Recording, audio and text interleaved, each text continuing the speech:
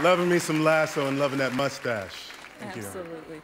And now here are the nominees for Best TV Series Musical or Comedy. Emily in Paris. The Flight Attendant. The Great. Schitt's Creek. Ted Lasso. And the Golden Globe goes to. oh, Girl. Schitt's Creek. Oh my goodness. All right. Um, are, is this? Are we on? Okay.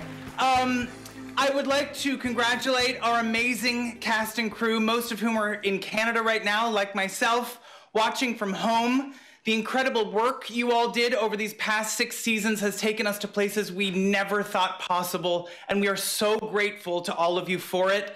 Thank you to the CBC and Pop TV for making the active choice to keep this little show on the air and give it the time and space it needed to grow, like so many TV shows out there. This acknowledgement is a lovely vote of confidence in the messages Schitt's Creek has come to stand for. The idea that inclusion can bring about growth and love to a community. In this spirit of inclusion, I hope that this time next year, this ceremony reflects the true breadth and diversity of the film and television being made today, because there is so much more to be celebrated. Thank you very, very much.